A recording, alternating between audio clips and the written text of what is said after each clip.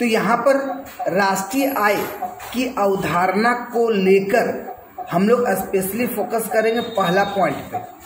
GNP gross national product, सकल राष्ट्रीय उत्पाद।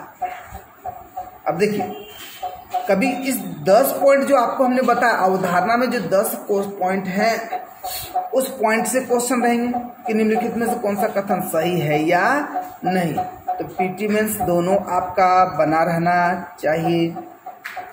किसी देश में एक वर्ष की अवधि में तो देखो पूरा एक वर्ष का ही पीरियड ले, लिया जाएगा जी।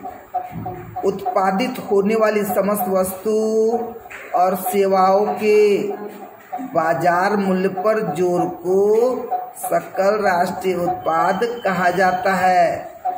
और इसमें विदेशों से प्राप्त आय शामिल होंगे या नहीं? जी, इसमें विदेशों से प्राप्त इनकम भी शामिल होंगे।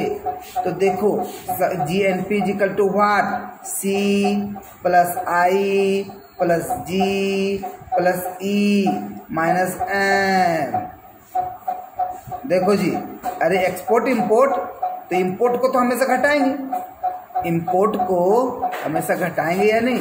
घटाएँगे। ठीक है? तो याद रखो, कभी आपको इस तरह का फॉर्मूला दे दे।